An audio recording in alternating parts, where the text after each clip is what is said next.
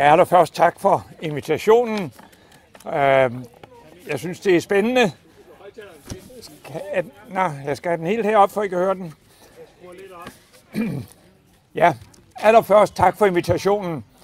Øh, jeg øh, vil øh, starte der, hvor Morten Udskov sluttede, med at sige, at alle krige i sidste ende handler om at få adgang til materielle ressourcer. De første kampe mellem mennesker handlede om territorier og de goder, som er forbundet med territorierne.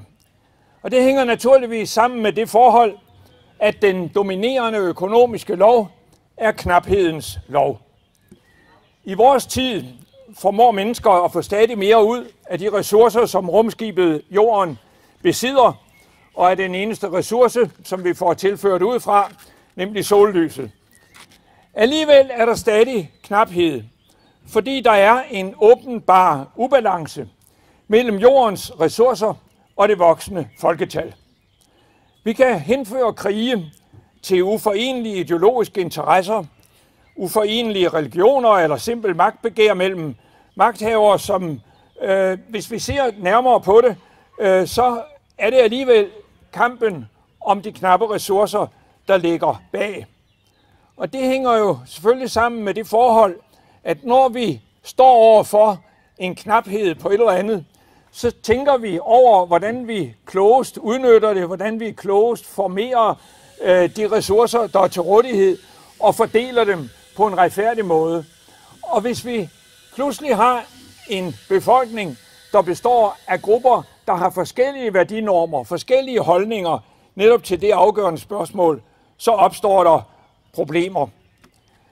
Derfor udgør den afgørende trussel mod verden i dag det forhold, at nogle befolkningsgrupper vokser voldsomt, samtidig med, at de ikke formår at producere nær nok til at opretholde tilværelsen. Der er ikke land nok, der er ikke vand nok, og der mangler i de voldsomt voksende befolkninger intellektuel kraft til at gøre noget ved ubalancerne. Derfor har stigende dele af befolkningerne i den islamiske civilisation, og jeg bruger, jeg bruger her ordet civilisation i den Huntingtonske forståelse af begrebet, og lige sådan i store dele af den afrikanske civilisation, sat kursen imod den vestlige verden i håb om overlevelse. For muslimerne har i deres eksplosive befolkningstilvækst efter 2. verdenskrig givet deres religiøse ledere ny styrke til at sætte turbo på Koranens bud om at islamisere hele verden. Hele grundideen i deres ideologi er absurd. Islam er på alle planer den store taber i den globaliserede verden.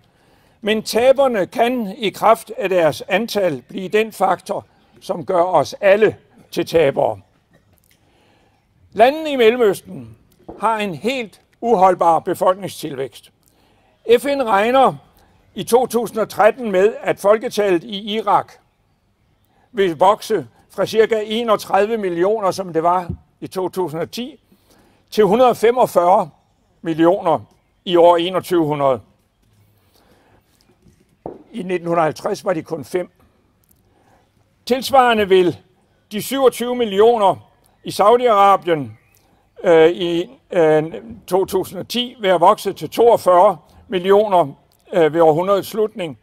Men i 1950 var de kun 3 millioner. I Pakistan var de 37 millioner i 1950, og de forventes, øh, nu er de oppe på 173 øh, millioner, og de vil vokse til 261. Og jeg kunne blive ved. Ægypten havde i 1926 14 millioner indbyggere, i 1950 20, i 2007 78, og i dag over 84 millioner. Og i år 2100 forventes de at have 123. I Afrika er det værre endnu.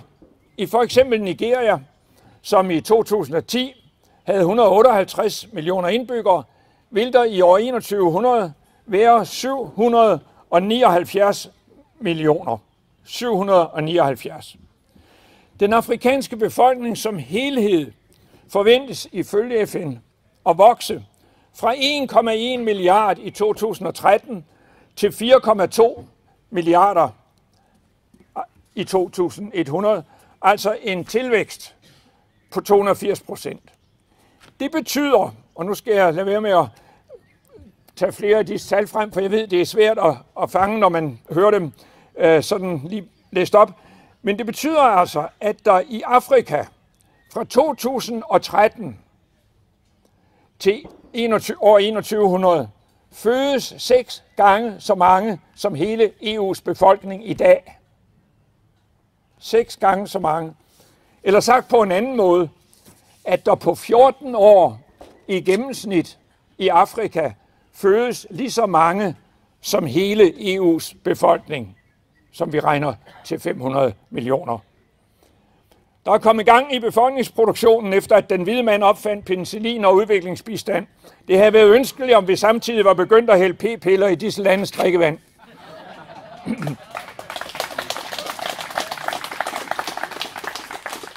Det voldsomme befolkningspres, som denne tilvækst fører til, fordeler sig nu uh, i Europa via lande, hvis ledere ser ud til at have mistet realitetssansen med hensyn til konsekvenserne af befolkningstrykket. Alene i den første uge af juni 2014 kom der mere end 5.000 bådflygtninge til Nordafrikas, fra Nordafrikas kyst til Italien, beredvilligt hjulpet i land af den italienske flåde. Og i hele 2011 tog 62.000 den risikable tur over Middelhavet. I 2013 var det 40.000, og allerede de første fem måneder af i år er mere end 40.000 mennesker kommet over havet til Italien. Professor Rafael Israeli, som er ekspert i islamisk historie og tilknyttet det hebraiske universitet i Jerusalem, forudsiger, at hele Europa vil blive forvandlet til et Eurabia i løbet af et par generationer. Af vores verdensdels befolkning, altså både Europa og, som vi kender det i EU, og, øh, men uden, uden Rusland, der er der i dag 30 øh, millioner, minimum 30 millioner muslimer, men det tal forventes fordoblet alene i løbet af de næste 25 år. Og professor Israeli siger, den demografiske udvikling vil føre til en situation, hvor ingen hollænder eller franskmand vil kunne blive valgt til sit lands parlament uden støtte fra det muslimske mindretal, som vil få en stadig mere afgørende stemme ved sammensætningen af de europæiske regeringer. Befolkningsudviklingen og det der følgende stormløb mod Vesten er en alt overskyggende trussel mod hele vores kultur, en trussel imod den vestlige civilisations overlevelse. Ser vi på befolkningsudviklingen i Danmark i de seneste år, nemlig fra den 1. januar 2009 til den 1. januar 2014, så har vi oplevet en befolkningstilvækst på over 115.000 mennesker. Heraf er kun de 15.750, eller 13,6 procent, af dansk oprindelse. Indvandrere fra vestlige lande udgør i perioden 43.000, nu runder jeg det af, men lidt over 43.000, og efterkommere fra vestlige lande er 5.300, mens indvandrere fra ikke-vestlige lande er på 30.924, og deres efterkommere udgør 20.433. Det er således klart, at tilvæksten af mennesker med ikke-vestlig baggrund udgør 44,3 procent af hele tilvæksten, mens tilvæksten af danskere i denne periode, og vi taler altså kun om perioden 2009 til 2014, tilvæksten af danskere udgør kun 13,6 procent. Hvis vi så ser på bare 2013, så er udviklingen endnu mere skræmmende. I 2013 faldt antallet af danskere med 789 personer, men folketallet voksede med 24.607.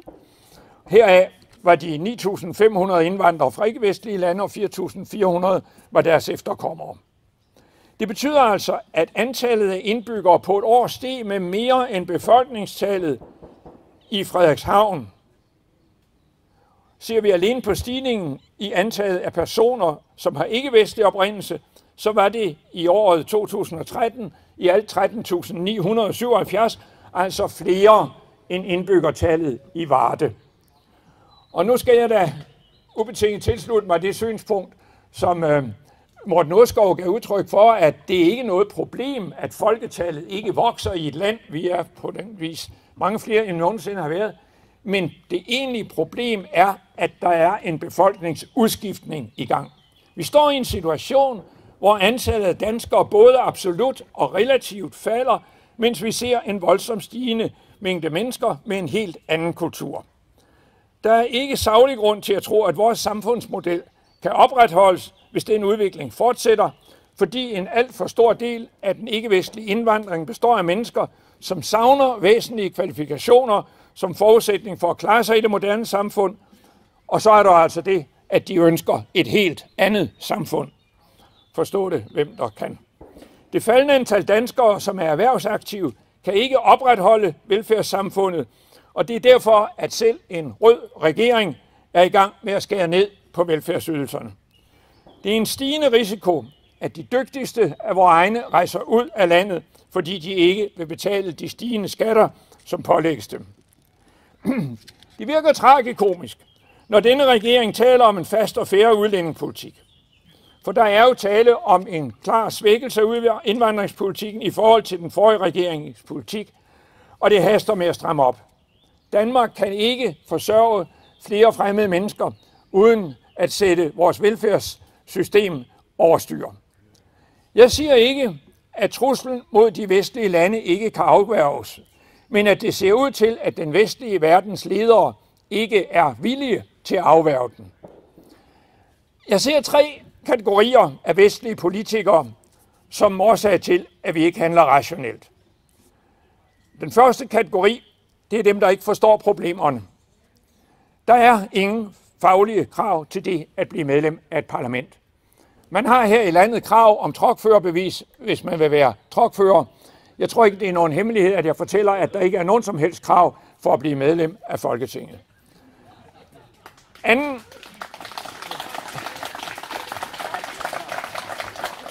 anden kategori, det er dem, som ser en højere social retfærdighed i, at Vesten går til grunde. Jeg behøver ikke at sige, at de findes på venstrefløjen. Deres mål har bestandig været at ødelægge de demokratiske, markedsdirigerede samfund. Tredje kategori, det er dem, som er fanget i det internationale netværk af konventioner og er bange for at udfordre de såkaldt korrekte politiske holdninger. Denne tredje kategori er de virkelig farlige politikere. Det er nemlig dem, som sidder på magten i Europa og i USA.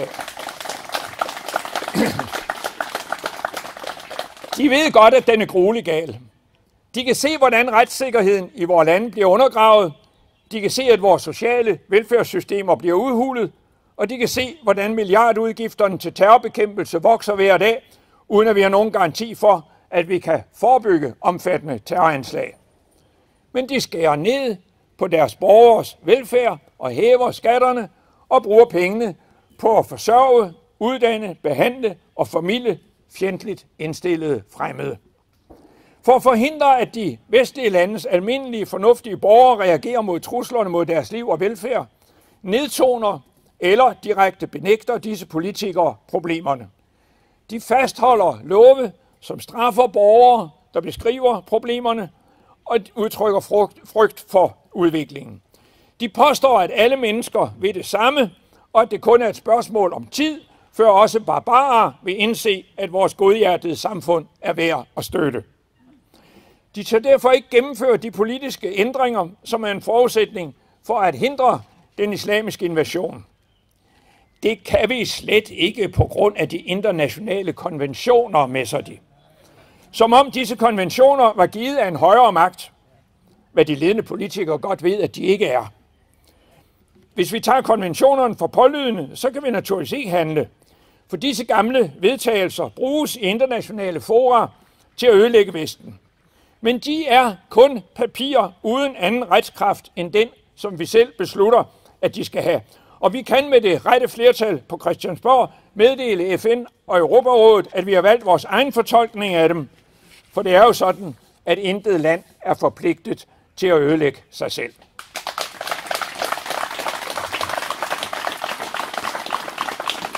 Et hvert fornuftigt menneske kan se, at islam er en totalitær ideologi blottet for sund fornuft. Skadevirkningerne er mest tydelige i de islamiske lande, men alle islams problemer overføres til os i takt med indvandringen. Alligevel bøjer vi i, nak, i Vesten nakken for påstanden om, at der er tale om en religion. Hver dag ser vi nye beviser overalt i den islamiske verden på, at islams fornægtelse af virkeligheden og bekendelse til en afstumpet menneskeopfattelse er ødelæggende for samfundsudviklingen. Jeg har venner fra den islamiske kultur, øh, også andre end Feroz i Aarhus og Nasser Carter indimellem i København. Jeg har nogen, der er flygtet fra præstestyret nede i Iran. Øh, de bliver hængt. Ikke bare for det, vi vil kalde politisk virksomhed eller revolutionære tendenser. Nej, de bliver hængt, fordi de er fjender af Gud. Og det står officielt i loven. Man hænger folk, fordi de er fjender af Gud. Fordi de forkaster Allah og al hans væsen. Alligevel så tillader vi de islamiske propagandister, imamerne, at optræde som autoriteter. Vi tillader dybt reaktionære regimer at bygge deres kommandocentraler, moskéerne, midt i vores byer, og vi tillader en indvandring af tusindvis af mennesker, som burde være stoppet ved grænsen.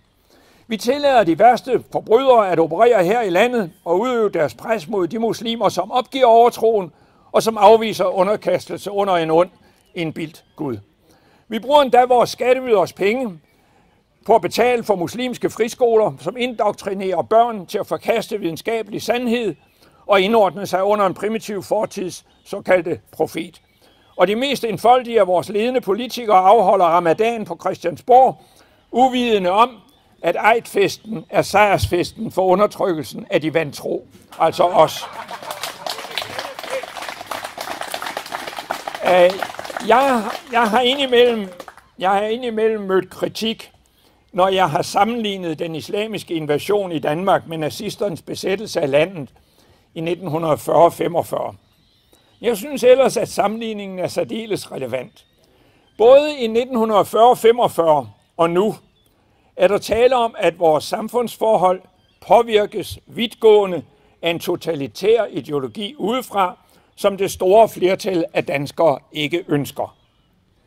Både i 1940-45 og nu er, der danske borger, er det de danske borgere, som betaler besættelsen. Dengang i 40-45 blev udgifterne, som nogen vil vide, af den nazistiske besættelsesmagt betalt over clearingkontoen i Danmarks Nationalbank.